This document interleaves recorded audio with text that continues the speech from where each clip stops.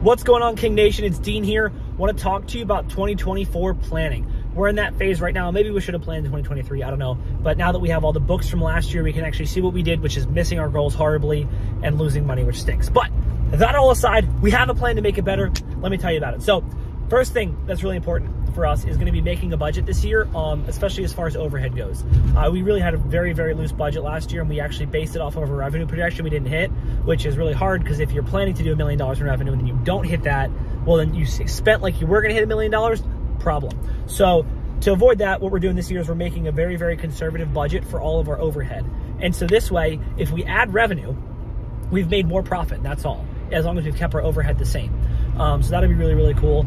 And then as far as the um, as far as the cost of goods goes, right, our cost of goods is way higher than it should have been. We're shooting for a way lower number this year. Um, and if we hit that number, like I said, do more in revenue and our overhead stays the same, that's all profit.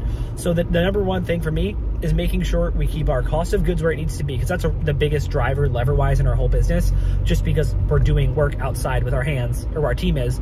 And so we need to make sure that that cost of goods is on point because if that cost of goods is on point, or, and, and when I use say that, I mean, you know, the cost of materials, obviously, but then the cost of labor on the jobs as well. And that's, you know, the big one that eats us up. We don't really have a lot of subcontractors, but if we did, that'd be in there too.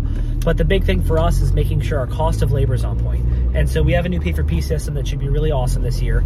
Um, and it's, it's the same as last year system wise, but we have a new Excel sheet that the team's going to be able to see their P4P every single day. We're going to be having a virtual assistant that's somewhere in the world uh, be calculating that every night. So that way, every day, the team can see exactly what they did and exactly where they were so they can compare, which is going to be really helpful. So that way, everybody stays motivated. Um, we're going to be doing something really cool for our team member pay that's a surprise for the team, so I can't say it on here, but uh, that'll be really neat. Um, and then really just going to be making sure I watch that like a hawk, making sure we're our fertilization team's being efficient, efficiently. The landscape team, same thing. We're doing a lot of hourly work for landscaping. We're going to do almost no work that's pre-bid. It will all be hourly. And so, you know, if we sell the hours we need to sell, uh, which for us is going to be about one crew of three people all year long. Maybe we'll do more than that. That'd be awesome. But at the very least, we hit the number, we'll be crushing it. Um, and on the mowing side, we want to keep three trucks busy. Uh, we're going to grow our mowing side a little bit this year, and then really probably like quadruple our fertilization weed control side. But it's not that impressive when it wasn't that big to begin with. So quadrupling a smaller number is a lot easier than you know. If you're once you're really big, you're growing by 20, 30 percent. It's still a big number. So for us, that's basically what our planning looks like. But it's really just been a mental unlock for me to realize how we should structure the budget and why it's important, especially as far as overhead goes. Um, as we're hiring people on, and hey, does this fit in the budget or not? Um, does this purchase fit in? And trying to keep the expenses as low as possible. But at the end of the day, building a budget and then making sure every month we're comparing the numbers we actually hit that month to the budget. Are we over? Why? Do we need to cut something, or is it just a one month thing? Um, or even for revenue, hey, are we over? Are we under? you know, we should be over pretty much every month because, like I said, we're being conservative with the projections, and I'm going to smash that thing out of the park. But if we don't, great, the revenue's down. Holy crap, do we need to adjust the budget, cut expenses, which is the step I missed this year? Or is it okay? Is it just a one month thing? Is it a lull in the summer? Is it whatever, whatever?